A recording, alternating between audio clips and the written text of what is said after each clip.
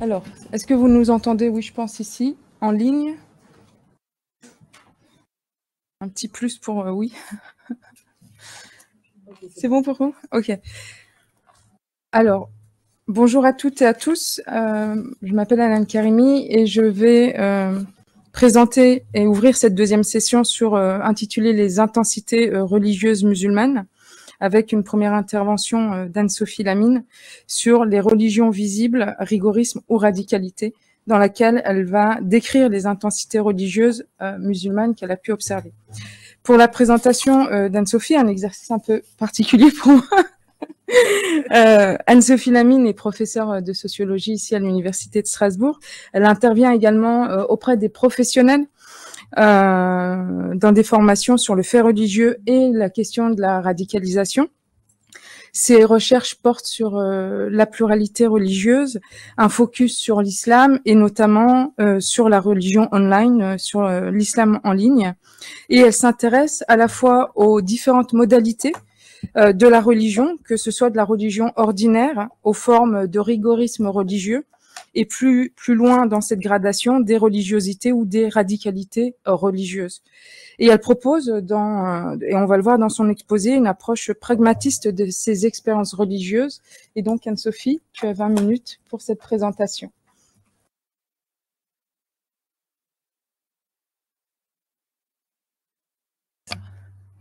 C'est mieux. Bien, donc effectivement, euh, je voudrais euh, réfléchir un petit peu dans cet exposé à comment dire les intensités religieuses. Euh, D'abord euh, en questionnant quelques termes, et puis euh, aussi en proposant euh, des points d'attention. Alors les points d'attention, c'est bien sûr de ne pas oublier la temporalité, euh, ensuite, c'est aussi d'être attentif euh, à la question de l'altérité. Elle me cache mon slide. Hein. Euh, et merci Colline. Et de d'analyser le, les, les, rapports aussi de, de, contestation, pas seulement de différenciation par rapport à la société, et bien sûr euh, des, des, questions, des points d'attention par rapport aux pratiques, aux normes et aux ajustements.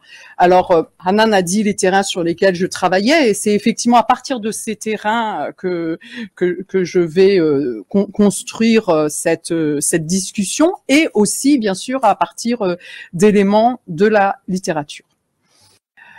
Euh... Ça passe pas au transparent suivant. je peux pas faire avec les petites flèches? C'est bon.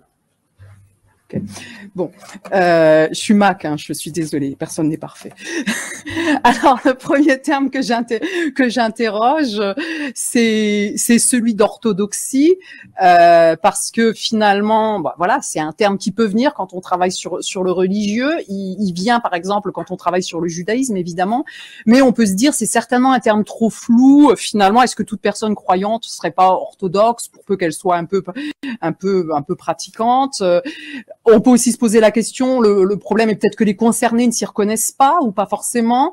Et puis actuellement aussi, il est mobilisé par euh, ceux qui sont parmi les plus rigoristes pour dire qu'ils pratiquent un islam standard, du genre euh, ne pas serrer la main, voilà, c'est l'islam standard. Euh, bon, je pense par exemple au président de Baraka City, mais on trouverait bien d'autres exemples. Alors, peut-être que, tu, tu, vois, on voit pas complètement ma slide. Ouais. C'est normal? Tu ouvres, tu le remets bon, bien, tu l'ouvres complètement, ça? C'est bon. Ouais, mais là aussi, tu l'ouvres. Ah Non, mais elle a fait. Elle... Voilà. Et puis, tu réduis, et puis tu réduis ça, ça, on n'a pas besoin de le voir. Pardon, Anne-Sophie, vraiment pardon. Tu, tu vas me laisser 30 secondes de plus, du coup Oui, voilà. Je peux pas le, 30 secondes de plus. Tu peux pas le bouger, tu peux le réduire. Tu peux le réduire, on n'en a pas besoin de ça. Pardon, je suis aussi euh, la team Mac, mais. Euh... Ça va faire un grand écran. Non, bah tant pis. Alors, hop, Allez, ah C'est ce que vous vouliez, d'accord. c'est pas ce qu'on voulait, mais c'est pas grave. bon. Pardon.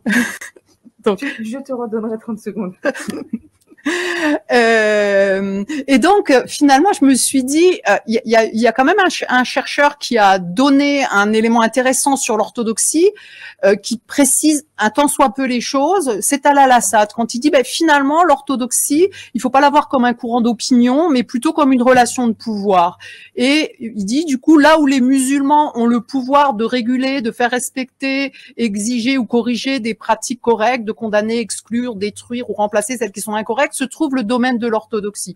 Donc on pourrait dire, mais du coup c'est pas très très discriminant, c'est finalement ça concerne les normes qui sont considérées comme les bonnes normes par euh, les, les, les, acteurs religieux euh, majoritaires, voilà, à un endroit donné, à un temps donné. Donc finalement ça permettrait simplement de, de laisser de part et d'autre les ultra-orthodoxes qui dans ce contexte seraient pour les principaux les salafis ou les tabliris, et puis de l'autre côté par exemple ceux qui reconnaissent des femmes imams, des mosquées inclusives, etc., qu'on qualifie euh, euh, de, de libéraux ah voilà, j'ai compris. Euh, un autre terme aussi qui, qui peut apparaître euh, et qui peut être intéressant, c'est le terme intransigeantisme. Alors le terme intransigeantisme, surtout si on le croise avec le terme intégralisme, c'est-à-dire la l'importance que prend la, la religion pour une personne, c'est quand même c'est intéressant parce que ça permet effectivement au moins de ne pas confondre les, les deux dimensions et notamment par exemple de distinguer des personnes qui peuvent être à la fois très pieuses et très transigeantes comme les citoyennes pieuses dont parle Jouili dans son bel ouvrage, ou encore euh, euh, dans le dans le quart euh, sud sud-est des personnes qui sont peu ou pas pratiquants, mais qui ont une attitude intransigeante. Ça peut être par provocation, par contestation, par exemple. Alors effectivement, du coup, c'est un, un, terme qu'on pourrait garder, mais il pose encore une question, c'est on est intransigeant finalement sur quoi? Est-ce qu'on est intransigeant sur des pratiques, lesquelles Vis-à-vis -vis de qui est-on intransigeant De soi-même, de son groupe de sa religion, de la société. Donc ça pose aussi la question de de l'altérité euh, ad intra ou ad extra, à l'intérieur ou à l'extérieur du, du groupe. Et par exemple, là, j'ai en tête euh, parmi les, les, les, prédicateurs euh, que, que j'ai étudiés, l'un d'eux, un assez jeune, qui est à la fois voilà écrit un écrit un livre avec un, un catholique sur l'interreligieux, enseigne beaucoup beaucoup de choses sur la nature, l'environnement, etc. aux enfants musulmans à qui il donne classe, mais qui aussi en même temps a des propos, par exemple, sur le, la, musique dans les mariages, etc., où voilà, le, diable est pas loin. Donc, euh, du coup, une personne comme ça, voilà, selon ce, ce qu'on regarde, on y verra beaucoup de transigence ou au contraire euh, moins. Euh, donc ça, ça, pose effectivement une, une question. Ensuite, j'ai cherché aussi parce que on a utilisé nous-mêmes au début du projet, parce qu'on savait pas quel terme utiliser, on a utilisé le terme rigorisme. En fait, assez peu de, chercheurs euh, euh, certains chercheurs l'utilisent ponctuellement, mais personne ne le définit. Euh, et nous non plus, d'ailleurs, on l'avait pas vraiment défini quand on l'a utilisé initialement pour déposer le projet. Alors j'ai finalement quand même trouvé euh, un, un, euh, une, une, proposition de, de définition euh, par euh, Bruce et Voas, des, des, chercheurs britanniques, qui propose finalement de considérer comme rigoriste une, une attitude dans laquelle il y a à la fois de la rigidité à l'égard du des membres du groupe et une forme de contestation à l'égard de l'outgroup. Donc, finalement, ça, euh, bon, le, problème toujours quand on dit à l'égard du membre du groupe, c'est qu'on se pose encore la question est-ce que c'est tous les membres du groupe ou c'est seulement par rapport à ceux de sa tendance dans le groupe?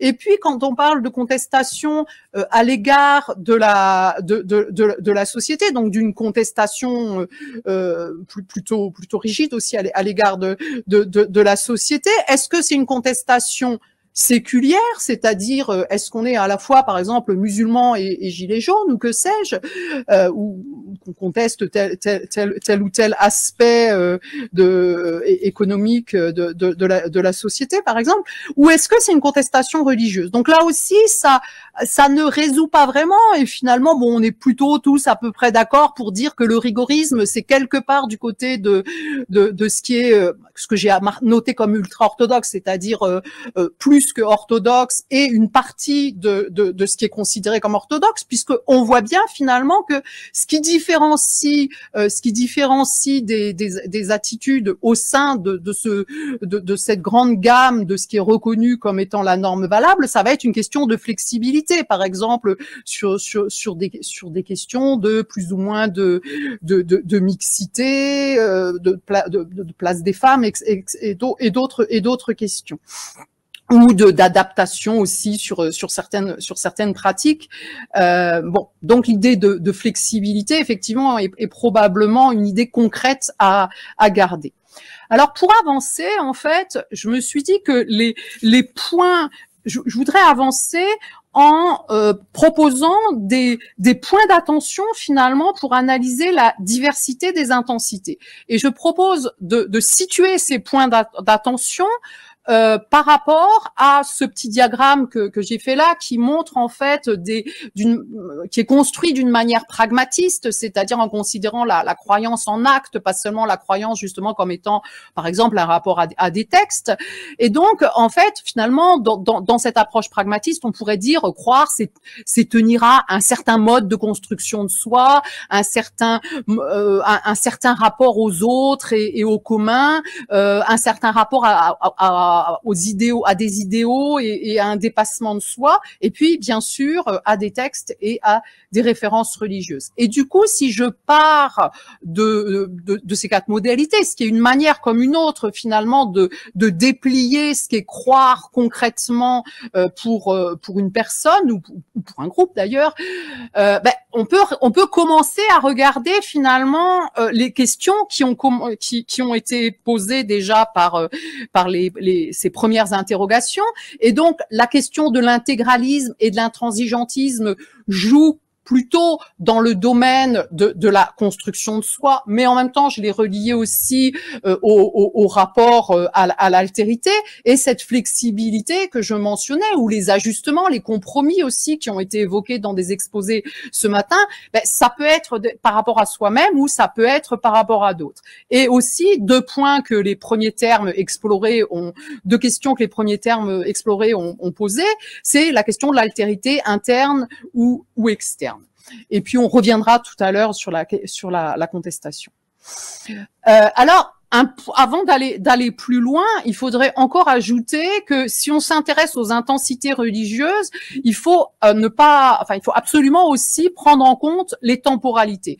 Et ce qui m'a beaucoup frappé en travaillant sur sur les YouTubeurs, ce sont des mises en récit, des mises en scène de parcours de sortie du rigorisme avec euh, voilà euh, des story time, je te raconte mon parcours, etc.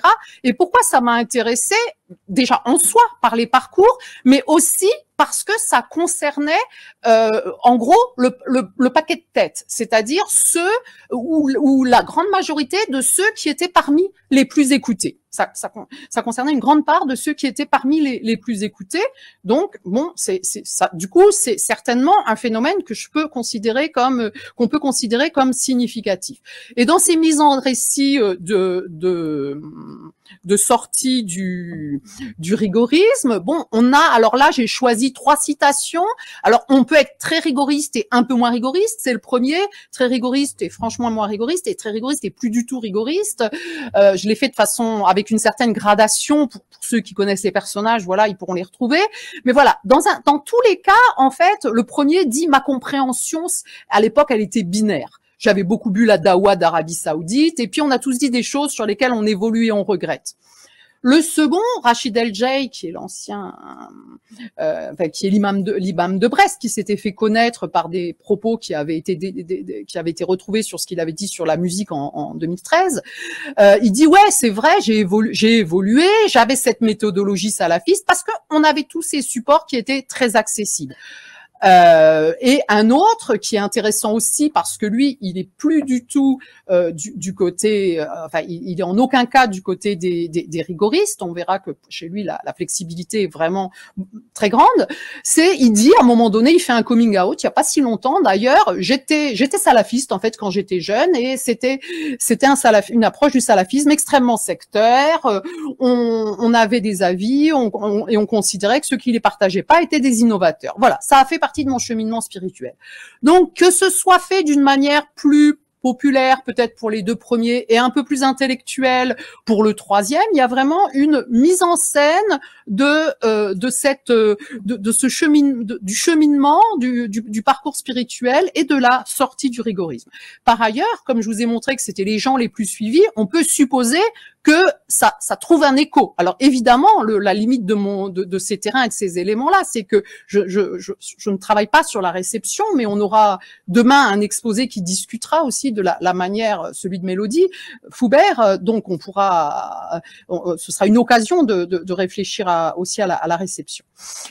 Mais euh, ce qu'on peut quand même euh, penser, c'est que finalement, ça, ça, cristallise des positions qui, qui, font, qui font sens pour un, un, grand nombre de, de, de, de personnes qui, qui, qui, les suivent et qui, s'abonnent à, leur, à leurs réseaux sociaux. Alors maintenant, j'en viens à la, à la partie suivante. Je disais aussi qu'une autre question, euh, enfin qu'il fallait regarder la question du rapport à l'autre, hein, rapport à l'autre et aussi euh, plus largement rapport à la société avec la contestation. Alors je, je vais commencer par euh, le premier point qui est l'altérité interne, c'est d'ailleurs le rapport à l'autre à l'intérieur de cette communauté. Et là justement, parmi ces, ces acteurs qui ont un, un, énorme succès, parmi vraiment dans les top top du top là, euh, il y en a un qui est un ex-tablieri et qui vraiment euh, est complètement sorti de ça, n'est plus du tout dans, dans, dans, le, dans le rigorisme. Et lui, il, donc il, met aussi en scène son parcours très longuement. Mais là, c'est pas ça qui m'a intéressé ici. C'est que en fait, dans une manière de se différencier par rapport au ce qu'on pourrait appeler le mise en gardisme salafi, c'est-à-dire cette façon de tout le temps mettre en garde contre X, Y, Z, etc., qui n'a pas le, le, bon islam. Lui, il a choisi de faire une petite euh, vidéo de mise en donc avec un jeu de mots pour dire bah, finalement euh, ses collègues youtubeurs, je suis pas forcément d'accord avec eux, on a des divergences, mais euh, j'ai au contraire envie de dire que je les que je les respecte euh, et, et voilà. Donc c'était un peu une, mise en scène finalement qui en même temps de du de la une valorisation de la pluralité interne, tout en montrant aussi une vraie différenciation bien sûr par rapport à l'opposé de ça que qu'on peut qu'on peut trouver dans dans les pratiques que salafi. Euh, maintenant, pour continuer sur la question de, de l'altérité, j'ai choisi des, des extraits d'une étude que j'ai faite, que j'ai menée sur comment différents types de médias musulmans ont traité euh, l'attentat de Charlie Hebdo et le juste après, la période qui a juste suivi l'attentat. Et euh, parmi ces, ces, médias, certains peuvent être qualifiés de plutôt militants ou engagés. Alors ils sont caractérisés à, la, à la, fois par euh, par des positions justement euh, plus plus plus plus engagées et, et, moins neutres par rapport à par rapport à la société par exemple, mais aussi une autre de leurs caractéristiques, c'est qu'ils ont une, une part de, de contenu religieux. En, en, tout cas, là, par exemple, ce qu'on ce qu'on voit dans le rapport à l'altérité, c'est une focale très forte juste après ces attentats sur les répercussions sur sur les musulmans. Donc là, bien sûr, il y a une condamnation, ça, elle est, elle est unanime, mais beaucoup, beaucoup d'articles portent, euh, d'ailleurs de façon souvent très bien documentée, sur les, les, répercussions euh, sur les musulmans avec euh, qui sont aussi nos alliés. Donc on peut dire avec cette place importante donnée à, à l'injustice, une, une, une attitude finalement de différenciation de qu'on pourrait appeler de nous eux Hein, de, de, de, de, différenciation par rapport au reste de la société. Sauf que dans les, exactement les mêmes médias, il va y avoir aussi une partie euh, significative, une partie significative de euh, montrer finalement toutes les actions de solidarité euh, euh, avec les musulmans, donc de, je sais pas, un prêtre qui vient, des guirlandes de cœur sur les mosquées, une Latifa Benziaten qui est connue, qui discute avec le, le père d'un des tués de l'hypercachère. voilà, donc il y a aussi en même temps une mise en scène du nous tous à côté de cette différenciation.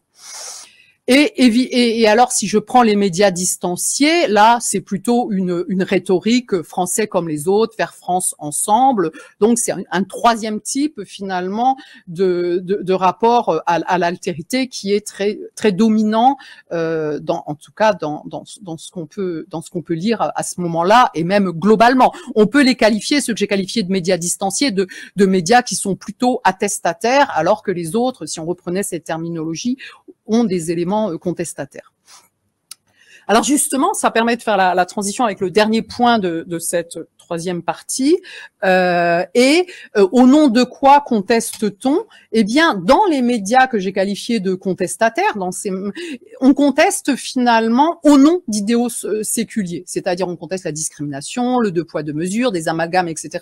Mais au nom d'idéaux qui sont ceux euh, des droits de l'homme, de la loi de séparation de 1905, de liberté, de solidarité.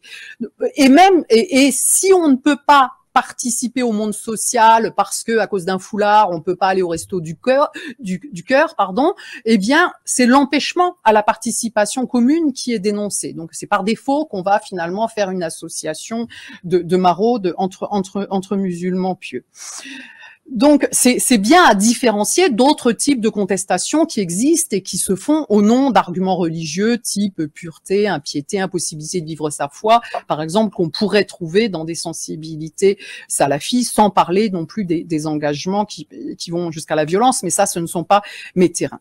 Du coup, finalement, là, on pourrait le représenter sur, sur ce schéma avec la, la question à la fois de la participation sociale, de l'attestation ou de la contestation et euh, d'idéaux qui sont partageables ou au contraire qui ne sont pas partageables avec des idéaux de euh, avec des idéaux de type utopique et, fuite du monde. Euh, Maintenant, le, dernier point, c'est le rapport euh, aux normes, les, ajustements. Alors d'abord, la première question, mais on l'a déjà vu, c'est quelles sont les ressources disponibles? On l'a vu avec ceux qui mettaient en scène leur sortie du rigorisme, mais je le retrouve ailleurs aussi, quand euh, dans certains médias, au moment de Noël, on se dit ah mais finalement c'est quand même embêtant de pas pouvoir souhaiter Noël aux autres. Mais alors pourquoi à un moment donné il y avait cette idée qu'on pouvait pas souhaiter Noël aux autres? C'est parce que finalement la référence qui semblait initialement la seule norme disponible était plutôt salafi, même si globalement euh, les, gens ne se s'identifiaient pas comme tels, mais ça semblait être la seule norme disponible. Donc on joue du coup une autre référence, celle du Conseil européen, enfin de, de Al-Qaradawi, donc du Conseil européen de la, de la fatwa, qui est beaucoup plus plus souple par rapport euh, au fait de souhaiter Noël. Et dans ce, pour, pour euh, terminer cette, cette, dernière partie, dans ce rapport aux normes et aux ajustements, une position vraiment émerge parmi ces ex-rigoristes que j'ai mentionnés, qui est une position évidemment qui existe chez bien des personnes qui n'ont jamais été rigoristes. Et je le reprends par exemple avec le cas de, de, de, de Mounir, c'est cette prise en compte de divers avis religieux qui soulignent le contexte, le sens et la raison de, euh, de, de telle ou telle position ou interdiction et le choix de chacun. Mais ce faisant, en montrant que sa préférence va explicitement vers la vie le moins rigoriste. Donc on pourrait dire, euh, on, on, prend du large par rapport aux rigoristes, mais tout en les respectant et aussi tout en combinant cela à de fréquentes références non religieuses, que ce soit sur la laïcité, des éléments de psychologie ou, ou autres. Donc il y a cette pédagogie de la pluralité des avis et références, position aussi qu'on retrouvera de façon très argumentée euh, euh chez l'autre que j'ai mentionné tout à, tout à l'heure, Ayman TR, et je pense, enfin je propose d'appeler cette ce type de, de, de, de position finalement qui, qui valorise cette, cette, cette diversité je propose de la qualifier de flexipraxie puisqu'il s'agit quand même principalement d'une flexibilité par rapport à des pratiques. Pour, pour conclure, finalement, j'ai essayé de représenter là sur le cadran euh, euh ouest euh, le, le, les, à la fois les rapports euh, par rapport à des références avec plus ou moins de pluralité interne, externe, plus ou moins de littéralisme, plus ou moins de sacralité, et sur la flèche qui montre entre la construction de soi et les textes religieux, justement, une pluralité de systèmes de référence, une pluralité des sources, et puis si on monte loin, évidemment, la recherche de la de la de la religion pure euh, qui a été documentée par certains chercheurs. Et si on va du côté euh, des, des, des, idéaux, la flèche qui descend, la, la, fuite du monde, avec aussi quelque chose qu'on peut trouver dans, dans dans, dans, certaines formes de salafisme, une, une fuite du monde, mais en même temps aussi une peur constante de la, de la punition divine. Donc c'est pour ça que j'avais aussi ajouté, est-ce que c'est plutôt un Dieu qui aime ou un Dieu qui punit? Voilà, je vous remercie de votre attention. Pas trop dépassé. Merci beaucoup euh, Anne-Sophie euh, pour, pour cet exposé qui nous montre bien euh, à la fois les évolutions et les, la diversité interne dans les médias et chez les prédicateurs musulmans que tu as analysé, ce qui nous ce qui, ce qui nous permet aussi vraiment de nuancer nos propres désignations ici avec ce que tu proposes en termes de flexipraxie. Euh, je propose du coup à la salle, euh, si vous avez des questions, on a un quart d'heure, un peu moins, un peu moins pour euh, des questions. Euh. Oui, Mélodie.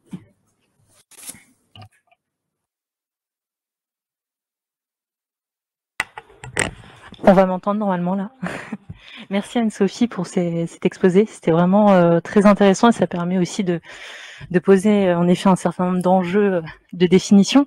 moi, j'avoue que ce, enfin, le terme que tu proposes de flexipraxie demeure encore un petit peu, je dirais, opaque pour moi.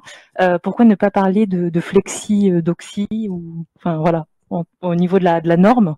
Voilà, c'est juste si tu pouvais, s'il te plaît, éclairer un petit peu ce choix conceptuel. Merci.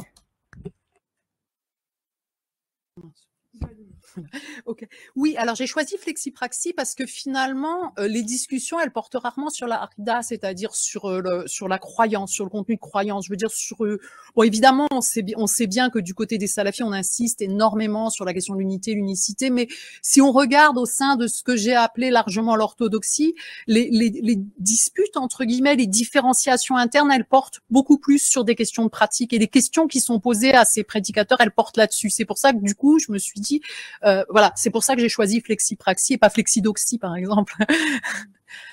Bien que effectivement le terme courant soit orthodoxe, mais en fait souvent quand on parle d'orthodoxe, que ce soit des juifs ou des musulmans, ce sont des orthopraxes, plus plus que des orthodoxes. Est-ce qu'il y a d'autres questions dans la salle? Oui, Lorraine. Euh, oui, moi c'était plutôt une question sur les. Donc vous disiez qu'il y avait beaucoup de sources euh, pour pour les personnes qui sont sorties du rigorisme. Euh, donc elles sont euh, allées vers ce courant parce qu'elles ont lu beaucoup de sources euh, plutôt de de, ce, de ces courants-là. Donc moi ma question c'est quand elles sont sorties. Donc vous citiez des, des textes sur la laïcité ou la psychologie ou le fait qu'ils se réfèrent à d'autres auteurs. Mais en fait je me demandais qu'est-ce qui était venu contrebalancer ça parce que tout ce qui est psychologie, laïcité, du coup, on n'est plus vraiment dans la théologie ou dans la. Vous voyez ce que je veux dire? Donc, euh, je, je, me demandais en fait, est-ce qu'il y a eu des sources qui sont venues contrebalancer et qui font que ces personnes sont sorties du rigorisme?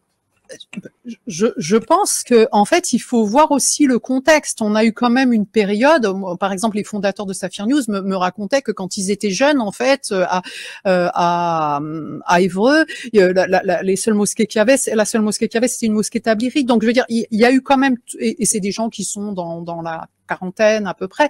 Donc euh, c'est, il faut voir les, les, les ressources qu'on avait à un moment donné. Elles étaient beaucoup moins diversifiées qu'aujourd'hui. Donc il y a la question des ressources. Je pense qu'il y a aussi une fatigue du, du, du rigorisme finalement au bout d'un moment. Euh, comme on parle de fatigue militante, on peut se dire bah, finalement une religion un peu plus flexible, ça, ça pourrait il y a des rencontres, évidemment, des, des voyages pour, pour, pour, certains, mais c'est, je pense que c'est une combinaison de ces éléments. Et puis on pourrait ajouter pour certains aussi, euh, comme euh, euh, l'imam de Brest, Rachid Abou Daïfa, je veux dire, c'est tout ce qui lui est tombé dessus quand, quand des gens d'extrême droite ont sorti sa, sa, vidé sa vidéo où il disait aux, aux enfants que s'ils écoutaient de la musique, ils se transformaient en singes. Donc là, il y a eu à la fois ce qui lui est tombé dessus, et puis des gens qui l'ont certainement encouragé autour de lui, en tout cas, le, le c'est ce qui s'est dit. Voilà que donc il y a tous ces éléments à la fois de relationnel et que j'ai ajouté aussi.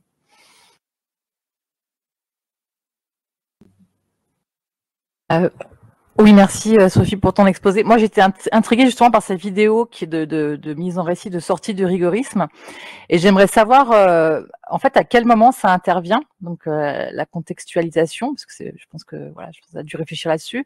Et finalement, c'est quoi les, est-ce qu'il y a des, motifs récurrents dans, dans, cette forme de mise en récit? euh, voilà, est-ce que, est-ce que, est-ce que tu peux trouver des, des, choses qui reviennent entre les différentes et, et aussi troisième euh, élément, euh, quel est le statut de ces vidéos dans les chaînes de ces de ces youtubeurs?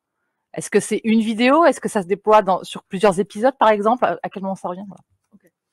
Euh, alors, contextualisation, en fait, euh, ben, c'est variable selon selon les gens.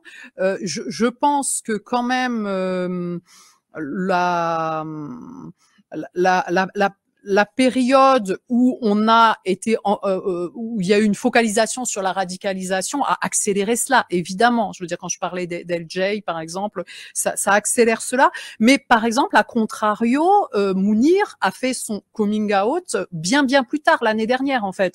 Donc euh, c'est pas on peut pas on peut mais aussi par contre, lui n'était pas catalogué comme parce que il n'était pas identifié du tout comme euh, euh comme, quelqu'un de d'ultra rigoriste ou quoi que ce soit. Donc c'est peut-être aussi pour ça qu'il n'y avait pas de nécessité pour lui. Sur la, la mise en récit, ce qui revient souvent, c'est en fait euh, euh, on est passé par là, on n'avait que ses ressources. Ça, ça revient beaucoup. Euh, oui, à la fois une, on n'avait que ses ressources pour les uns et pour ceux qui sont peut-être de milieux un peu plus populaires et pour ceux qui sont un peu plus intello, euh, plutôt une authenticité d'une recherche à fond qui les a fait finalement être séduits à un moment donné euh, pour euh, des options, pour l'option plutôt salafi assez, assez rigoriste. Euh, et pour celui qui établirit, c'était, oui, je pense, je, je pense que, lui, il a plutôt une mise en scène de j'ai, euh, c'était beau, ça m'a appris l'amour de Dieu, puisque là, c'est la, la, question du rapport à la spiritualité est plus mise en avant si on vient du d'établir. Et sur la récurrence, oui, ça revient plusieurs fois, c'est pas ponctuel. C'est-à-dire celui dont je dis qu'il avait son coming out, il l'avait dit avant de façon plus soft, Mounir. C'est-à-dire il avait dit j'avais qu'il avait été plus strict avant, mais il l'avait jamais dit qu'il avait été salafi. Et les autres, ça revient de façon, oui, ça revient plusieurs fois, oui. Il y a une autre question de Nadia. Oui, merci beaucoup pour euh, cette présentation. En fait, euh, j'avais une question fait deux questions. La première, c'est plus une question plus générale euh, parce que j'apprécie beaucoup le déplacement que vous proposez aussi dans, dans tous ces débats euh, vers une approche beaucoup plus pragmatique euh, dans, dans l'analyse de, de, de, voilà la négociation et comment les choses se mettent en place et les lectures se mettent en place et un déplacement d'une lecture dogmatique vers une lecture plus pragmatique, si je peux utiliser euh, ce terme. Et, et qu'est-ce que ma question serait plus de qu'est-ce que ça permet justement dans la discussion? Sur tout ce qui est radicalisation, lutte contre la radicalisation, euh, parce qu'on voit que souvent ces, approches-là se, se, focalisent sur des sur des idées, sur des euh, et qu'est-ce que vous, vous pensez que la perspective que vous proposez permet comme déplacement? Donc ça, c'est la première question. Et la deuxième question, c'est euh, par rapport à, à, cette altérité interne. Vous avez parlé justement de l'éthique de la divergence qui est beaucoup euh, promue, et, et euh, mais justement, il y a aussi des limites à cette éthique de la divergence, hein, euh, justement par rapport à ce que les prédicateurs souvent appellent les harijites, ceux qui sont sortis euh, de l'islam. Est-ce que vous pourriez un peu plus développer euh, cet élément-là? Oui.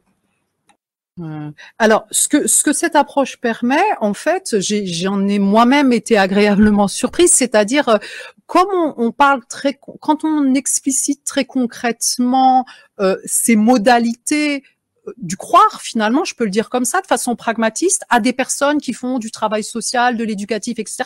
Ça parle vraiment complètement. C'est-à-dire ça, ça leur, ah, j'allais dire, ça leur parle peut-être même plus l'approche pragmatiste qu'à mes collègues, quoi. Euh, je, bon, mais, mais sérieusement, c'est parce que justement, on va vers euh, ce à quoi les gens tiennent, les, les pratiques auxquelles ils tiennent, et puis on déplie aussi l'affaire des, des idéaux. Je veux dire, de toute façon, d'autres personnes ont parlé que les euh, sur le fait que les idéaux étaient importants pour les jeunes, etc. Je, cette approche-là, elle, elle, elle, n'invente rien. C'est une manière de combiner finalement des dimensions dont beaucoup d'auteurs ont aussi ont aussi parlé. Donc euh, oui, je, je, je, pense que et elle permet bien de, de montrer aussi que bah, le rapport au texte, c'est une des choses parmi beaucoup d'autres, euh, et que en fait, être dans une religion, c'est aussi parfois voilà le commun, se tenir, se, être bien ensemble, voilà. Mais euh, et par rapport à, à l'irtilaf, à l'éthique de la divergence, euh, ben, en fait, je, je, je, suis bien consciente que euh, l'éthique de la, la, la, divergence, finalement, d'un côté, on, pourrait dire que c'est presque intrinsèque à l'islam de dire qu'il y a toujours eu des écoles, etc. Et donc, moi, ce qui me semble qu'il faut mettre en avant comme sociologue, c'est est-ce que ça, c'est mis en scène Est-ce que ça, les, les, les, prédicateurs ou tel ou tel acteur religieux, justement, est-ce qu'il dit simplement oui, c'est bien, l'éthique de la divergence, ça existe, ou est-ce que réellement il, euh, il la met en scène, il a une pédagogie autour de cela? Donc c'est ça ce que j'ai envie de répondre. Et, et effectivement, euh, euh néanmoins, euh, ça, les, ça ne les empêche pas évidemment de, de condamner ce, qui ce qui va vers la violence, etc. Là, ça va pas jusque là leur éthique de la divergence, on est bien d'accord. Pour rebondir sur cette euh, question, euh, Anne-Sophie, est-ce que tu peux revenir Alors déjà, l'image euh, que tu as proposée, celle de Charlie, euh, tu sais, celle au moment de, des attentats de Charlie Hebdo, est-ce que tu pourrais la situer parce que je l'ai vue passer, mais euh, avec la petite flèche.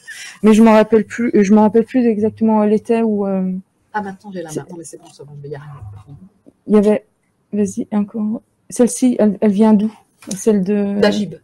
D'Agib, d'accord. Et c'était deux, c'est eux qui ont fait ce dessin? Non, non, ils l'ont repris d'ailleurs. D'accord. D'un média, euh, d'un média américain, je ne sais plus lequel, je crois.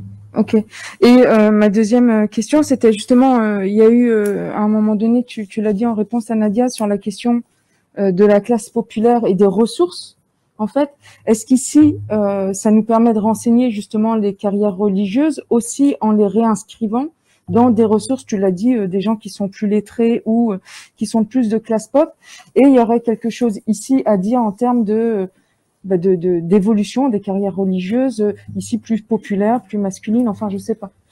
Oui, alors effectivement, j'ai pas trop eu le temps de dire ça, mais si, si on refait l'historique, par exemple, de la manière dont les médias plus militants, qui correspondent aussi globalement, effectivement, à un public, euh, en tout cas un peu un peu moins euh, un peu moins éduqué, euh, bien qu'il y ait des étudiants dedans, etc. Mais voilà, euh, on voit aussi globalement une évolution. C'est-à-dire si je recherche par exemple qui citait en 2013 ou en 2000, enfin dans, ces années-là, au début des années 2010, euh, et il arrivait qui cite occasionnellement ou qui relaie euh, des, prédicateurs qui à cette époque-là étaient rigoristes. Alors selon le cas, soit, le, soit soit ils ont arrêté de le relayer euh, dans, la partie qui est religieuse de leur site, soit le, prédicateur a évolué et donc il continue en évoluant avec lui. Donc il y y a dans les sources, quand on va regarder du côté de leurs sources religieuses, on voit aussi une vraie évolution. Mmh. Merci. Vas-y.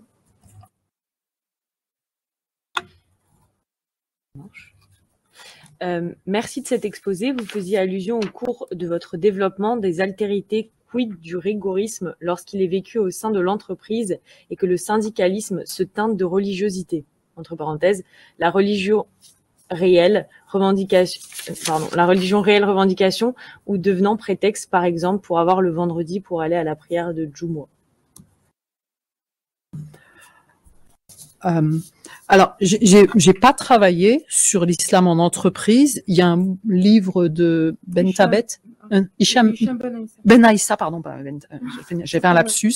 Hicham Ben, Hicham ben Aïssa qui est intéressant là-dessus. Je, je pense que là, on peut voir euh, toute une, toute, on, on voit aussi toute une, enfin, d'après ce que j'ai lu, puisque j'ai pas fait les terrains, mais des, des gradations d'attitude. C'est-à-dire, il peut y avoir des gens qui, qui utilisent finalement l'identité religieuse parfois pour provoquer un peu. Finalement, oui, on a, on a fait notre barbecue halal à côté. C'était un peu pour embêter les, pour embêter les chefs parce qu'on n'y tient pas tant que ça ou au contraire euh, des, attitudes vraiment rigoristes. Mais je ne saurais pas aller plus loin puisque c'est pas ma spécialité. La deuxième question. Bonjour, cette mise en récit de ces prédicateurs musulmans ne révèle-t-elle pas d'une quête en respectabilité dans un contexte sociopolitique en France où l'islam demeure perçu sous le prisme du soupçon et de la défiance? Avez-vous travaillé sur l'appropriation de ces modalités du croire dans les établissements scolaires privés musulmans? Ces lieux de socialisation scolaire et religieuse peuvent-ils être, selon vous, des lieux d'expression de cette éthique de la divergence, mais également des lieux d'éducation à la tolérance et au vivre ensemble?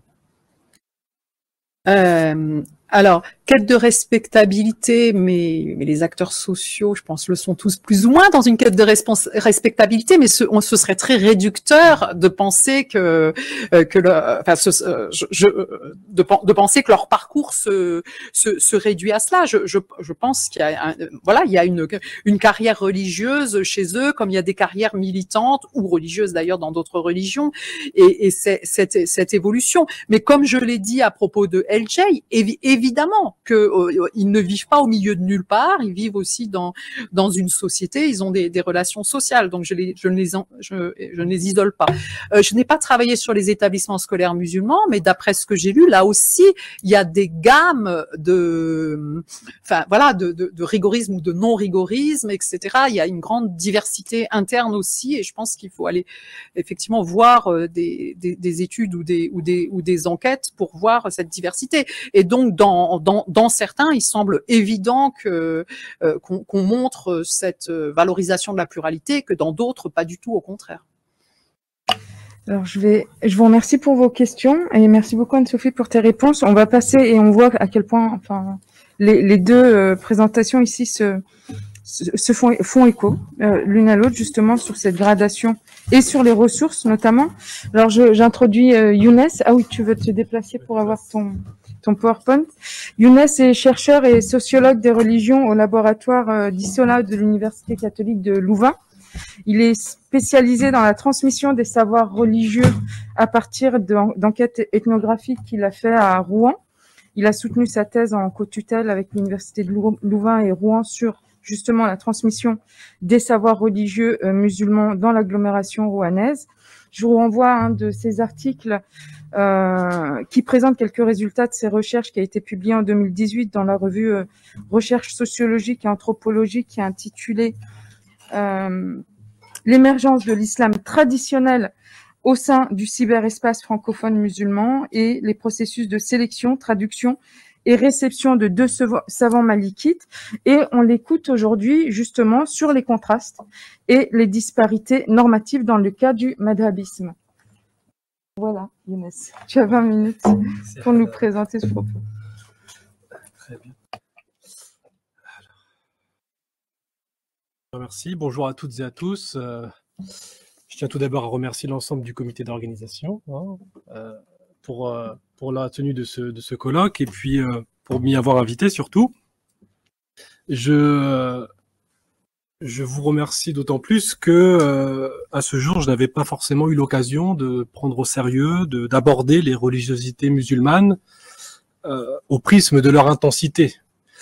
Un concept qui renvoie pourtant à une tentative de mesure, euh, qui est un classique en sociologie des religions. Plus encore, j'ai personnellement toujours été assez méfiant, il faut le dire, vis-à-vis -vis des approches en termes de radicalité, dès lors qu'il s'agit d'islam, notamment parce que ces considérations me paraissaient euh, très euh, très clivantes, trop enlisées dans l'actualité et euh, assez assez réactionnelles finalement. C'est pourquoi j'ai toujours consacré mes travaux jusqu'à présent à analyser les formes et les modalités de transmission et d'enseignement des savoirs islamiques, au détriment, il est vrai, le plus souvent, des normes elles-mêmes transmises c'est un, pas de côté que, que je jugeais légitime, nécessaire, afin de dépassionner le débat, de, de, prendre, de prendre du recul. Mais euh, il me paraît intéressant, et c'est vraiment l'occasion à travers ce colloque, de euh, s'émanciper des, gros mots, hein, tels que l'extrémisme, le terrorisme ou encore le séparatisme, hein, qui renvoient clairement à une attitude politique, à savoir euh, la volonté de s'extirper, de former une, entité politique distincte de l'État, et pas forcément des catégories pertinentes, puisque cela représente probablement une, une infime part des réalités observables, euh, en tout cas sur le territoire hexagonal. Il reste pourtant qu'il faille bien euh, nommer ces types ou degrés d'intensité religieuse, il existe des terminologies hein, propres à l'analyse des religiosités catholiques, protestantes ou autres, mais on est en droit de s'interroger si elles sont euh, adéquates pour décrire les religiosités musulmanes. Pour ce faire, j'aimerais mobiliser une, approche à double ancrage méthodologique, une approche qu'on pourrait qualifier de socio-islamologique, considérant que par habitus, bah, la sociologie, ou plutôt l'islamologie, s'attarde bien souvent à traiter l'élaboration des, des idées à travers les textes, plutôt qu'à travers les pratiques religieuses actuelles. Et à l'inverse, la sociologie est euh, assez souvent euh, attentive aux attitudes, aux trajectoires, aux pratiques, hein, comme on vient de le démontrer, euh, tout en parfois on peut être amené à méconnaître les idées proprement religieuses qui pourtant se montrent parfois structurantes. Et pourtant, on a hérité de la sociologie compréhensive de Weber, et à travers lui, on a un parfait exemple, je dirais, d'une pleine considération des effets générés par une doctrine spécifique, le calvinisme puritain dans son cas, notamment en matière d'émotions génératrices d'actions rationnelles en valeur, vous connaissez la chanson, à même de structurer des, comportements socio-économiques durables. Et durant cette intervention, j'exposerai des, éléments de contenu visant à, à mettre à jour et peut-être affiner certaines catégories. Et d'ailleurs, je suis heureux de voir la complémentarité de nos deux interventions euh, au niveau de l'offre normative islamique en France, et puis j'essaierai de formuler quelques propositions et même de soulever quelques questions hein, qui dépassent euh, euh, ce qu'il me sera possible de faire durant cette intervention. Mais en tout cas, ce sont des portes que, j'ouvrirai et peut-être qu'on s'enlisera dedans euh, à travers les échanges. Alors, si on part du terme rigorisme, par exemple, qui m'a particulièrement intéressé, si on considère qu'il désigne un attachement rigoureux aux règles religieuses, on peut toutefois s'interroger si la religion n'impliquerait pas nécessairement un certain degré de rigorisme. C'est toutefois ce que suggère Émile Durkheim, je reviens encore au classique, lorsqu'il perçoit la religion comme un élément central dans la constitution et le maintien de, la société. Au fond, le, sacré, ce ne serait qu'un un lien spécifique, particulier entre le croire et l'acte, entre le croire et l'agir, une façon particulièrement efficace par laquelle l'un va conduire à l'autre. Et ce, bien plus efficacement que la loi, que le droit et que la morale. D'où la fascination durkheimienne et l'obsession, je dirais même, euh, pour le religieux hors religion, dans, un, dans le contexte de la Troisième République euh, que vous connaissez euh, aussi bien que moi. Nous savons par ailleurs, et notamment à travers les enquêtes menées par Guy Michla et, et d'autres, qu'il existe un lien de corrélation positive fort entre croyance et intensité de la pratique, dans le cas du catholicisme en tout cas. Ce serait donc la prise au sérieux, plus ou moins stricte, de la promesse du salut situé dans un au-delà, d'une part, et euh, du répertoire de moyens rationnels en valeur prescrits ou investis pour y accéder d'autre part, qui serait la cause d'une plus grande intensité pratique. J'aimerais proposer succinctement un premier éclairage sur une éventuelle terminologie visant à nommer les intensités religieuses euh, vis-à-vis des religiosités musulmanes. Puisqu'il s'agit de religiosité musulmane, justement, il convient d'adopter une perspective émique, c'est-à-dire attentive aux catégories internes et notamment aux vocables mobilisés au sein même de la tradition euh, islamique. Loin de prétendre à une analyse euh, lexicale exhaustive, j'ai retenu au sein d'un corpus de textes classiques, hein, il s'agit de de commentaires de d'un traité de droit malikite euh, du, à partir du Xe siècle égérien, disons-le simplement. J'ai retenu donc les expressions qui ont vocation à caractériser des formes d'excès en matière d'orthopraxie musulmane. Cela peut désigner des pratiques ordinaires, constatées, voire dénoncées par les, par les auteurs de ces ouvrages, ou encore des attitudes adoptées face à une divergence, à une situation dont le statut légal, religieusement légal, hein, ne serait pas résolu. Il ressort de cela un, continuum à travers trois degrés d'intensité que je vous ai indiqué ici. Bien sûr, des termes émiques que je vais vous présenter. Le terme que je traduirais d'exagération, el relou, qui par ailleurs est un terme coranique hein, qui intervient à, plusieurs reprises, surat Nisa, surat El Maïda, surat 4 et 5, Euh, deuxièmement, le terme de, euh, de wara, hein, de scrupule, ou de, de, piété, de dévotion, mais de scrupule, je préfère le traduire ainsi, et d'ihtiyat, c'est-à-dire de précaution, qui serait finalement l'attitude adéquate, l'attitude à adopter. Et enfin, la, la prise à la légère, le tarfif, ou bien l'ifrat, ou mufarrit, euh, c'est-à-dire le laxiste. Alors, dit comme ça, c'est pas forcément euh, très parlant, mais zoomons un peu sur cette notion d'exagération. Euh, cette exagération est associée à divers facteurs, à diverses dimensions, je dirais, et j'ai pu en identifier trois, du plus fréquent au, moins fréquent. L'ignorance, notamment à travers le recours à des termes parfois euh, très moqueurs, hein, tels que euh, el balid, hein, l'imbécile, l'idiot, comme le font ces idiots, hein, tout du, ou bien des termes plus juste simplement disqualifiants, moins disqualifiants plutôt et moins moqueurs comme celui d'ignorant, johal, et de façon parfois plus neutre, tout simplement, euh, tel, euh, comment dire, tel que le font les gens de la masse. Vous voyez, de ce type d'expression. Donc, l'awam, c'est-à-dire les gens de la masse qui ne seraient pas forcément euh, les plus instruits. On a aussi un, un type d'excès qui est lié à, à l'abus de légifération. Ça, c'est un concept intéressant qui consiste à définir, à arrêter, à, délimiter une chose qui revêt un caractère absolu selon la, la législation musulmane. C'est très récurrent dans la philosophie du droit malikite notamment, et le terme consacré pour le désigner, c'est le terme de d'innovation méprisable, euh, bid'a euh, notamment. Et enfin, un troisième type d'excès qui serait euh, lié à, à, la notion de israf, c'est-à-dire de, de gaspillage, qui est également un terme coranique, et qui renvoie particulièrement à une acception matérielle de l'exagération. Par ailleurs, on a d'autres termes qui viennent qualifier non pas des attitudes, mais des états de fait, des états de fait délicats, des situations qu'on pourrait qualifier d'inconfort, auxquelles peuvent conduire la stricte mise en pratique de certaines normes religieuses.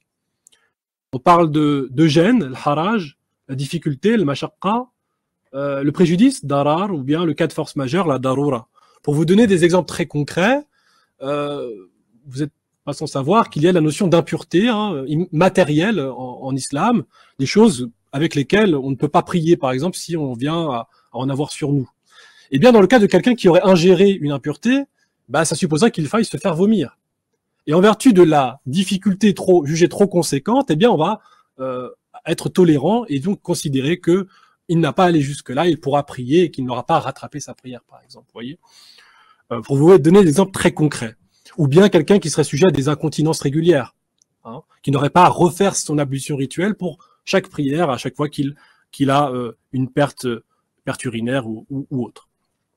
Parfois aussi, on a des expressions, pas des termes, mais des expressions qui viennent suggérer la, la reconnaissance d'une impasse juridique, c'est-à-dire menant à, à l'impossibilité même de mettre en pratique certaines normes islamiques en vertu d'éléments circonstanciels. Alors, par exemple, très tôt dans les ouvrages, dans les traités, ils vont attester de la déliquescence des mœurs, et euh, ça a des effets conséquences, consé euh, significatifs, pardon. C'est qu'en matière de mariage, euh, il y a l'exigence de la présence de témoins. Je rentre pas dans des détails euh, de quoi est une condition du contrat ou bien de ou bien de la consommation, peu importe. Mais en tout cas, il y a l'idée de deux témoins qui seraient probes, donc qui seraient qui revêtraient des qualités morales bien particulières. Mais vu qu'ils attestent très tôt, il y a des siècles et des siècles d'une de la quasi-absence et la quasi-impossibilité de trouver des gens qui revêtent ces caractéristiques, eh bien, on va considérer que plutôt que d'exiger des critères qualitatifs, on va plutôt exiger un, critère quantitatif et donc passer de deux témoins à 30 ou 40, le plus possible étant, étant le mieux. Et sinon, ça reviendra à dire qu'il est plus possible de se marier, tout simplement. Euh, ou bien lié à une réalité structurelle, hein, comme le fait de, ne pas exiger le recueillement en prière. Cette présence intense du cœur ben, ne peut pas être exigée juridiquement parce que ça supposerait peut-être qu'une grande partie de l'humanité ne verrait pas sa prière valide et serait sans cesse en, en devoir de la rattraper. Et donc, on va exiger à minima une simple présence d'esprit, une intention, tout simplement une intentionnalité. Donc vous voyez comment ces mécanismes interviennent. Donc la mise en difficulté, l'inconfort et la gêne sont des conséquences non souhaitables qui vont susciter des solutions de facilité, des arrangements, taïsir, prévus par les jurisconsultes. Toutefois, et là c'est une notion très importante, il ne manque pas de rappeler qu'il y a une part de pénibilité inhérente à la religiosité. C'est celle qui est induite par la notion même de euh, responsabilité euh, religieuse, la notion de taklif, qui étymologiquement désigne l'imposition d'une charge. Ainsi, l'exagération rigoriste correspondrait à ce surplus de pénibilité qui serait jugé dommageable et donc euh, et dont la stricte application, en faisant fi des mécanismes d'assouplissement, conduirait à des formes d'excès ou, ou euh, d'exagération. En ce sens, ce serait le, scrupule, le wara, qui caractériserait, hein, qui traduirait le, le rigorisme religieux musulman, rejoignant ainsi une des deux étymologies du terme religion d'ailleurs, la façon dont on s'évertue, on s'attache à se conformer à, un ensemble d'idées, de croyances, de principes, en dépit de contraintes objectives, c'est-à-dire la loi par exemple, ou bien les ressources matérielles dont on dispose, ou bien notre propre corps, ou des contraintes subjectives, l'expérience, l'affect, le relationnel, du moins jusqu'à un certain seuil à partir duquel on voit la mise en place de, logiques d'assouplissement. Et à partir de cela, le seuil, bien sûr, est lié à la à l'appréciation subjective, bien entendu, euh, de ces érudits. On peut, à partir de, cette approche islamologique, considérer pour acquis le fait que il n'est pas possible de qualifier une offre orthopraxique comme étant en soi plus flexible ou plus dure, comme si c'était un trait essentiel, voire un principe conducteur des producteurs de normes pratiques. Et ce, malgré des, des lieux communs assez diffus, comme affirmer que euh, le hanafisme, qui est une des quatre écoles euh, du, sunnisme, hein, euh, quatre écoles de droit euh, au sein du sunnisme. Donc, comme le fait d'affirmer que le, le, hanafisme serait plus souple, plus adaptable, ou qu'à l'inverse, dire que le salafisme est plus dur. Ça aussi, c'est très difficile de pouvoir dire ça. Pourquoi? Parce que pour à chaque fois, on peut tout à fait démontrer le contraire. Prenons juste quelques exemples brefs, qui sont très pratico-pratiques, hein, je, vous préviens. La capacité de rassembler les prières dans un temps commun qui est une, logique d'allègement, eh bien, c'est quelque chose qui est considéré comme inexistant dans la religion musulmane chez les Hanafites, en dehors de, des rites du pèlerinage. Alors que chez les Salafis, on va pouvoir tout à fait y recourir sans aucune restriction, sans aucune condition préalable. Pareil pour ce chose que beaucoup de gens pratiquent dans les milieux professionnels ou scolaires ou autres, quand il s'agit de faire l'ablution, le fait de passer la main humide sur la chaussette fine. C'est quelque chose qui n'est retenu, qui n'est valide dans aucune des quatre écoles du, sunnisme mais qui va être considéré comme tout à fait possible au sein du salafisme. Pareil pour le monde légal, en matière de, euh, récolte, d'imposition sur les récoltes, eh bien les hanafites vont considérer que toute chose sortant du sol est imposable, alors que les autres écoles vont euh, circonscrire à des denrées bien particulières. Encore un autre exemple, pour ceux qui aiment les ceintures en cuir, eh bien, euh, les hanbalites, auxquels on affilie souvent le salafisme, ne permettent pas d'acquérir des, euh, des éléments en cuir d'un animal qui n'aurait pas été sacrifié rituellement au préalable. Alors que les salafis, par exemple, euh, dans la position adoptée, vont tout à fait l'admettre. Bon. Il est donc inconvenant, et voire même impossible, de supposer une prévisibilité des offres orthopraxiques en termes de dur, d'adaptable, de souple, d'ouvert ou de conservateur, comme s'il s'agissait de principes conducteurs. Chose qu'exprimait l'anthropologue Sabah Mahmoud dans son étude du mouvement féminin des mosquées, notamment à la lumière des positions défendues par une de ses enquêtées qu'elle nommait Hajja Feiza dans ses enseignements. Je vous lis. Hein. En effet, elle justifie la possibilité pour une femme de diriger d'autres femmes dans le rituel de la prière, non pas en invoquant l'égalité de genre ou l'égale capacité des femmes à accomplir une telle tâche. Au contraire, elle situe son propos à l'intérieur du débat entre les juristes musulmans sur les conditions dans lesquelles les femmes peuvent diriger la prière. Et elle conclut en disant il faut s'abstenir d'interpréter l'opinion de Hajja Sophia sur la circoncision des femmes ou la direction de la prière comme une preuve de modération de sa part. Sa conception de la place de la femme en islam varie considérablement. En effet, Hajja Feiza insiste beaucoup sur l'importance de respecter la logique des débats et des formes de, de raisonnement juridique ce qui rend sa conception des rapports de genre en islam assez imprévisible. Tout simplement, pourquoi? Eh bien parce que il y a une logique autonome de la pensée juridique musulmane, une rationalité euh, épistémique interne, n'est-ce pas? Je t'emprunte l'expression, selon laquelle le, travail de production normatif dépend en premier lieu de la fidélité à des énoncés faisant autorité, transmis, reconduits tacitement jusqu'à leur mise en corpus historique. Autrement dit, nous sommes face à une tradition discursive, expression également euh, assadienne et, mahmoudienne. Pour y voir plus clair, euh, on peut toutefois adopter une lecture de l'offre d'orthopraxie qui est de bonne loi et, et tout à fait heuristique. C'est celle proposée par John Bowen dans son ouvrage L'islam à la française, publié en, en 2011 il y propose une, typologie des acteurs français musulmans à partir de leur référentiel normatif à travers trois approches. Une approche réglementaire, hein, l'orthopraxie conçue comme intransigeante, source de certitude par la même occasion, mais elle voit les divergences d'opinion d'un mauvais œil, la vérité n'acceptant qu'une seule solution, la position consentie comme vraie implique que toutes les autres soient radicalement fausses. Dans un contexte pluriel, eh bien, cette posture est contrainte de se rigidifier en, ostracisant l'autre ou bien à se tempérer euh, euh, par voie inéluctable. L'autre approche est une approche alors que je rebaptise hein, madhabique, et je vous expliquerai exa exactement de quoi il s'agit, mais dans cette approche, on, se réfère à, l'autorité régulatrice d'une des écoles juridiques, tout en reconnaissant la pluralité des opinions présentes, au sein des quatre euh, école euh, sunnite. Pour le coup, on parle beaucoup de sunnisme ici, mais c'est souvent un biais, mais, voilà, il en est ainsi.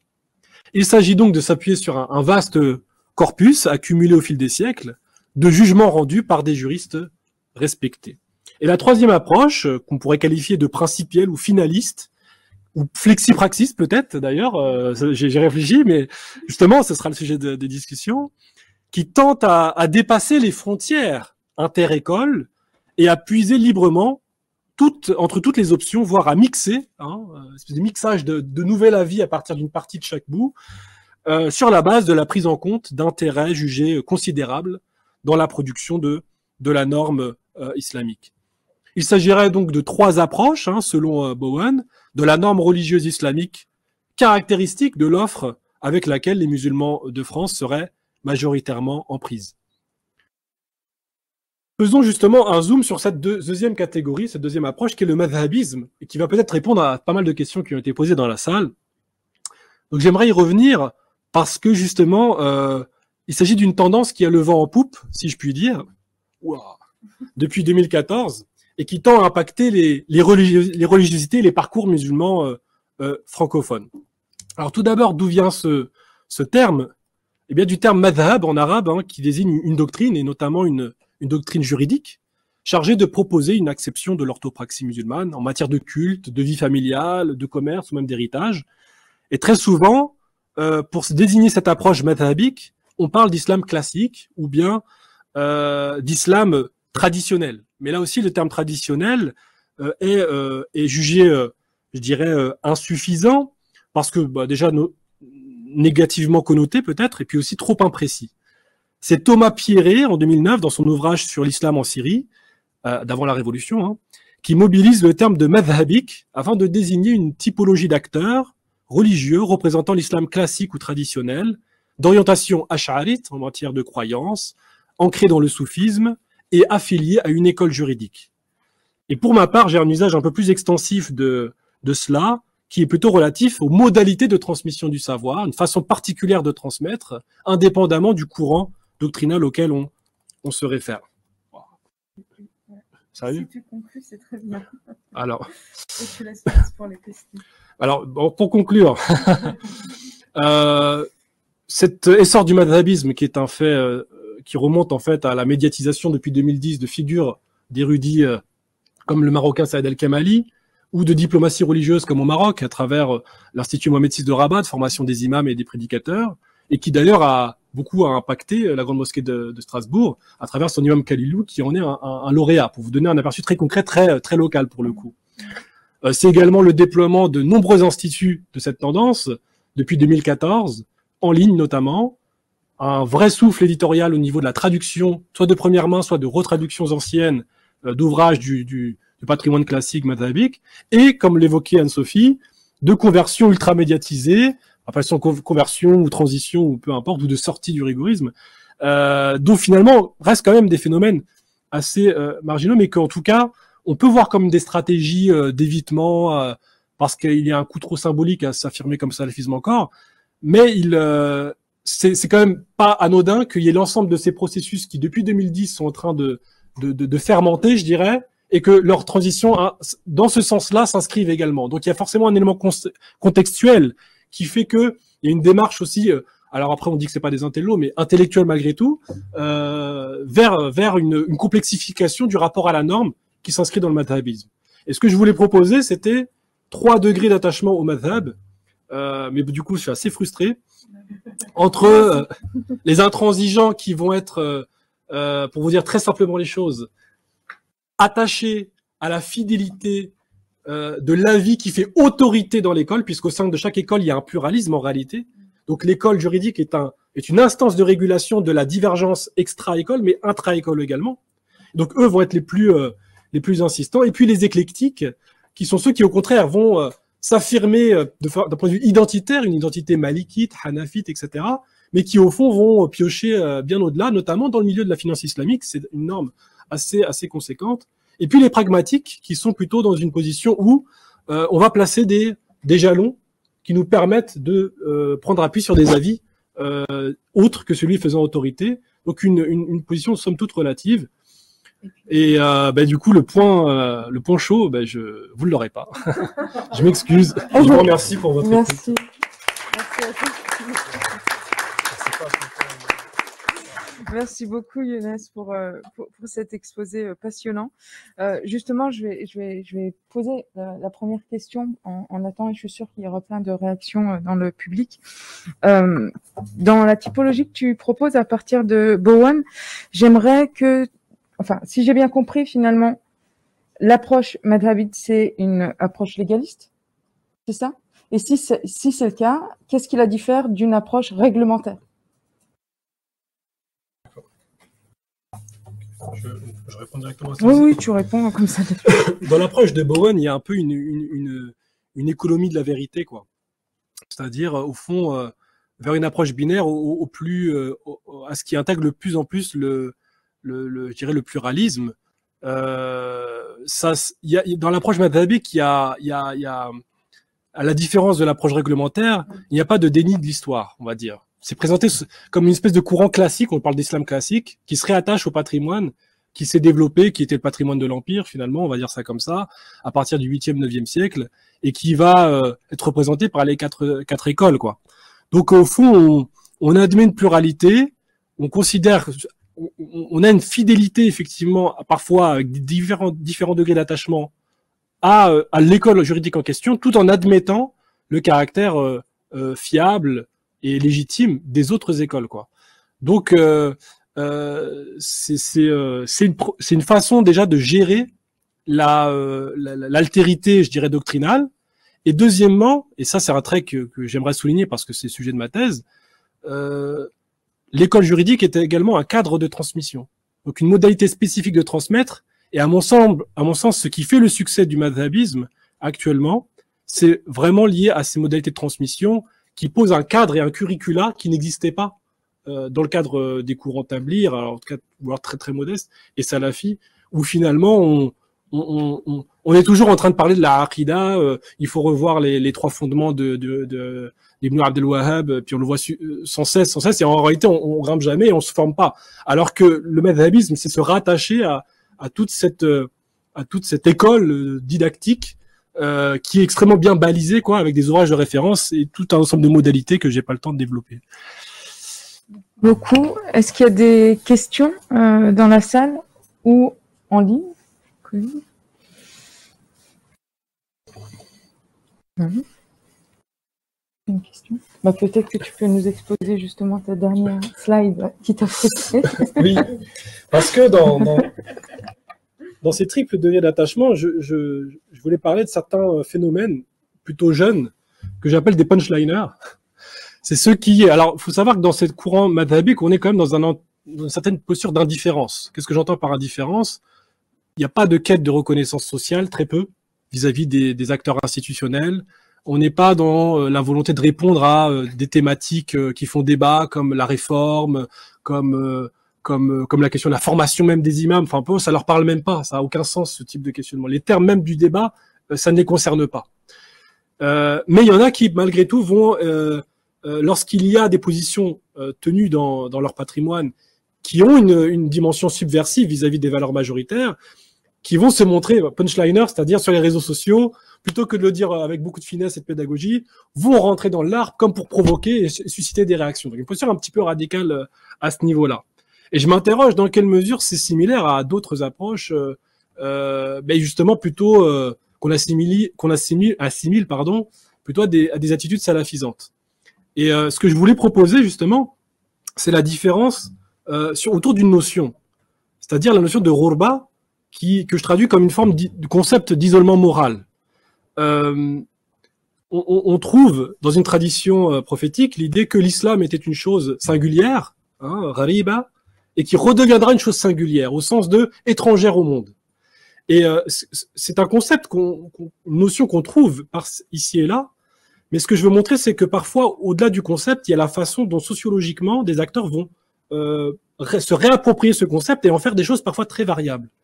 Et euh, dans le cas de, euh, de, de, cette approche que j'aimerais décrire, il y a l'idée que cet isolement moral n'est pas seulement un état de fait. C'est-à-dire que pas un constat en se disant je me retrouve seul face au monde et du coup cette notion vient comme me réconforter, mais qu'elle devient plutôt une catégorie euh, prescriptive à partir de laquelle euh, je vais m'assurer, euh, j'y vois la preuve d'une élection divine pour parler en termes weberiens, euh, du fait d'être sur le sur le vrai. Et donc, je cherche quelque part à interpréter tous les phénomènes comme des phénomènes hostiles et donc avec des attitudes de mépris à mon égard. Et pour moi, il y a une vraie différence entre cette, euh, cette conception de, de l'isolement moral en tant que catégorie de réconfort, pour l'appeler comme ça, ou, ou tout comme d'autres catégories, comme la question de, du vœu et du désaveu, de l'aveu et du désaveu, c'est-à-dire euh, qu'on va retrouver chez le, dans le milieu salafi, le wala wal bara, mais qu'on va retrouver ailleurs sous d'autres termes comme at-tashabuh bil kuffar, la prohibition de, de, de, de, de, mimer des traits spécifiques à des mécréants, hein, tel que veut l'expression, euh, qui va avoir une conception plutôt pratico-pratique d'un point de vue juridique, mais qui, d'un point de vue euh, salafisant, majoritairement, va être conçu comme une question vraiment doctrinale en termes de, de croyance, avec des implications beaucoup plus lourdes. Donc un même concept qui a été forgé par l'histoire peut être mobilisé avec un horizon d'attente très différent et là, c'est plus une analyse islamologique, mais c'est l'analyse sociologique qui a le, fin mot d'histoire sur cette analyse. Quoi. c'est ce que je voulais un peu euh, proposer en guise d'ouverture. Oui. Et justement, quand tu parles de, tu les appelles les punchliners sur les medhab, euh, je me demande à quel point aussi ça participe à une forme de valorisation interne aussi, malgré cette pluralité, ou selon où on se situe aussi, je pense que c'est important de positionner, qui euh, mobilise cette question des madhab Hmm. Ben, c'est souvent interprété par la majorité de, des acteurs de cette mouvance globale qu'est le madhabisme comme des attitudes puériles et, et déraisonnables, en fait. Puisque sur ces questions qui sont clairement subversives, mais par exemple, c'est des questions liées à l'esclavage, par exemple. Vous voyez, ces trucs qui, qui, qui renvoient à aucune réalité présente sur le territoire, mais qui va être mobilisé simplement pour choquer. Vous voyez, pour montrer que euh, on s'en fiche un peu de tout ça et, on, et voilà eh bien les autres vont totalement mettre en, en suspens ces questions-là quand ils vont enseigner, puisque j'ai observé les enseignements. C'est des chapitres qu'ils vont, ils vont, ils vont pas délaisser au sens où, vous voyez où est-ce que ça va l'approche la, Ils vont lire le texte de l'auteur, mais presque sans s'arrêter dessus, sans le commenter, parce qu'ils jugent qu'il n'y a pas d'intérêt. Mais ils vont le lire quand même, parce qu'il y a une fidélité au patrimoine, au texte, il y a un rapport au, commentaire du texte qui est spécifique. Euh, et, et, le texte à travers lequel se, se diffuse un flux de, de bénédiction. C'est-à-dire qu'en lisant le, les mots de l'auteur, on se, euh, on s'inscrit dans euh, le flux, la chaîne de transmission, c'est un des principes de l'approche mathématique, la chaîne de transmission qui me remonte soit jusqu'au prophète, soit jusqu'à l'auteur de l'ouvrage. Quoi. Je propose euh, des questions, si jamais il y en a, ou en ligne. Colline, est-ce que tu... Il n'y a pas de questions? Bon, bah. Alors, vu l'heure, comme on a... Ah, Il y a une petite question euh, c'est pas une euh, question, c'est juste pour demander une précision. Je trouvais que c'était intéressant à le relever comme catégorie prescriptive, mais c'est c'est une construction de quel courant? Enfin, est-ce que quelle place ça a à l'heure actuelle? J'ai pas très bien compris. Euh, ça, ça venait d'où et quelle place ça occupe en fait En guise d'illustration, j'ai publié, j'ai indiqué cet ouvrage qui est celle des éditions Nawa, qui ont d'ailleurs été fermées, euh, fermeture administrative euh, mm-hmm. récemment par, par, par, le gouvernement français. Euh, justement, c'est c'est un concept qui est inhérent à la tradition musulmane, si vous voulez. C'est issu d'une parole prophétique. Hein. Après, il y a tout un ensemble de divergences sur la façon de le comprendre. Mais au-delà de cette, l'ensemble de ces possibilités dogmatiques, on va dire, de le comprendre, il y a un usage sociologique, je dirais, un usage social qui est en effet. Et c'est là où je parle justement de, non plus de son usage et de sa lecture comme une, comme, comme, comme catégorie descriptive d'une situation que l'on vit, mais comme quelque chose de prescriptif, au fond, comme un horizon d'attente que l'on cherche à, réaliser, au fond, et donc euh, qui, va, euh, qui va induire un rapport à l'autre qu'on va générer soi-même quelque part aussi, en plus d'éléments objectifs qui peuvent exister. C'est une intuition euh, et, on voit des discussions, en tout cas dans théologique, sur l'interprétation de ce hadith. Mais en tout cas, je pense que la, réponse, elle n'est pas, elle est plus sémologique pour le coup, elle est plutôt sociologique, quoi. Des mécanismes sociaux euh, qui sont divers et variés, comme ceux qu'ont pu être soulignés dans l'intervention de Dame Sophie et, d'autres, et celle de ce matin aussi d'ailleurs. Merci beaucoup. On a, merci beaucoup Younes pour cette intervention. Merci Anne-Sophie.